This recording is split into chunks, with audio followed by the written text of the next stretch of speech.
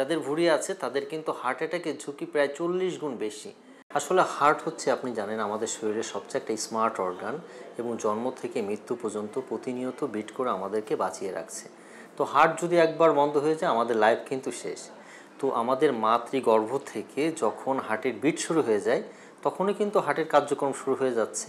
তো হার্টকে যদি সুন্দর, সতেজ, সুষ্ঠুভাবে রাখতে চায়, তাহলে ফুড হ্যাবিট আপনি যেটা বলছিলেন, এটা একটা গুরুত্বপূর্ণ ভূমিকা রয়েছে।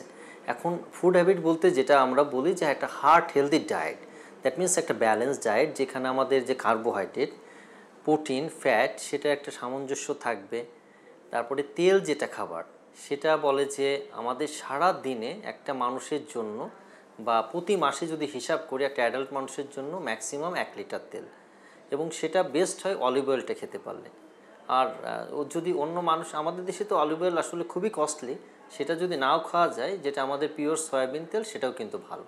কিন্তু যেটা ট্রান্স ফ্যাট যেটা একই তেলে বারবার যে খাবারগুলো, সেটা কিন্তু খুব খারাপ। যেমন পুরি, সিঙ্গারা, দেখবেন যে বিভিন্ন মুখরোচক যে খাবারগুলো, সেগুলো কিন্তু বডির জন্য খুব হার্মফুল এছাড়া আমি যেটা বলতেছিলাম যে, আমরা ভাতে মাছে বাঙালি, আমরা কার্বোহাইড্রেট খেয়ে অভ্যস্ত, আমরা একটু দেখা যাচ্ছে যে, এখন যে গ্রোয়িং ট্রেন্ড শহর কেন্দ্রিক এসে, সেটা হচ্ছে যে অনেক ধরনের প্রসেস ফুড থাকে যেগুলো খুব র্যাপিডলি মানে বানায় প্রসেস করে খেয়ে ফেলছি।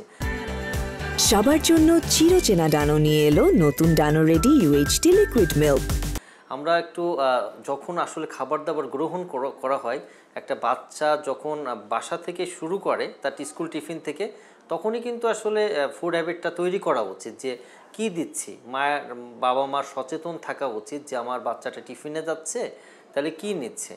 আমাদের ব্যস্ততার জন্য হয়তো করি না, কিন্তু একটু ধৈর্য সহকারে যে দিয়ে আমরা তাদেরকে একটু ফ্রুটস দিই তাদেরকে দেখা যাচ্ছে যে বাসায় হোমমেড খাবার তৈরি করে দিই, বেকারির খাবার বা কুকিজ বা বিভিন্ন ধরনের বেকারি আইটেম না দিয়ে দ্যাট উইল বি গুড তাহলে বাচ্চা বয়স থেকে যেমন তার লাইফটাই হেলদি হবে, স্বাস্থ্যটাই হেলদি থাকবে হার্টটা ভালো থাকবে, বয়স হয়ে গেলে দেখবেন যে এক ট্রেন্ড হয়। যেমন আমরা ছোটোবেলায় গ্রামে মানুষ হয়ে আসছি, তো আমাদের ফুড হ্যাবিট যেমন সবই খেতাম। ধরেন ভাত, মাছ, শাক, সবজি। কিন্তু আমার বাচ্চারা দেখা যাচ্ছে যে, সে তো যেহেতু শহর কেন্দ্রিক সে চিকেন ছাড়া খাচ্ছে না।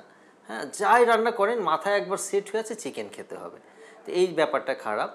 তো আসলে ফুড হ্যাবিট ডিপেন্ড করে যে আপনি কি খাচ্ছেন। কতটুকু খাচ্ছেন এবং কখন খাচ্ছেন? একটু বলবেন যে ভাত মাছ দুধ তো আসলে কতটা হ্যাঁ দুধ তো অবশ্যই একটা পুষ্টিকর খাবার। যেমন যে আমরা বলি যে ছয় মাস বয়স পর্যন্ত কিন্তু বাচ্চাকে বুকের দুধ দিলেই আনাও দুধ হচ্ছে বলে যে পৃথিবীর one of the best food তো বয়স সাথে সাথে অনেকের বলে যে হার্টের রোগ হলে দুধ খাওয়া যাবে কিনা। হ্যাঁ শর্ট ছাড়া দুধ সবাই খেতে পারবে।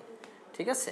অনেক সময় হার্ট অ্যাটাকের রুগীও কিন্তু আমাদের জিজ্ঞেস করে যাচ্ছে আমি কি দুধ খেতে পারব? দুধ কিন্তু প্রেশার বলেন ডায়াবেটিস বলেন সবাই খেতে পারবে। যদি উনি ডাইজেস্ট করতে পারে ছাড়া দুধ বডির জন্য খুব ভালো। আর আপনি ঝুঁকির কথা বলছিলেন যে ভুঁড়ি যাদের আছে বা এরকম যে তাদের ঝুঁকিটা অনেক বেশি এটা যদি একটু বলেন। এক্স্যাক্টলি গবেষণায় ইদানিং দেখা গিয়েছে যাদের ভুঁড়ি আছে এবং ভুঁড়ি নাই। যাদের ভুঁড়ি আছে তাদের কিন্তু হার্ট অ্যাটাকের ঝুঁকি প্রায় চল্লিশ গুণ বেশি। ঠিক আছে?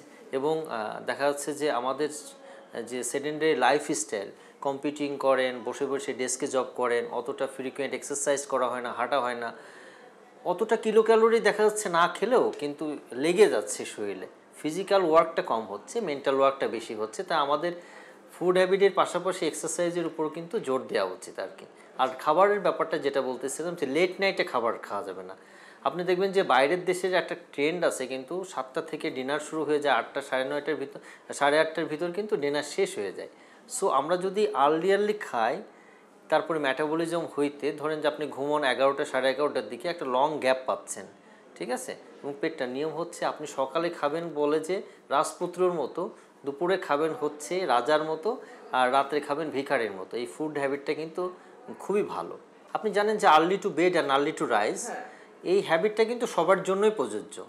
হ্যাঁ অনেক সময় ছোটো বাচ্চা বেবিদের ক্ষেত্রে তাদের স্টোমাক ছোটো থাকে ফ্রিকোয়েন্ট ফিডিং করতে হয় কিন্তু সেটা ডিফারেন্ট কিন্তু আপনি মোটামুটি গ্রোয়িং এজে থেকে কিন্তু লেট নাইটের খাবারটা অ্যাভয়েড করাই উচিত।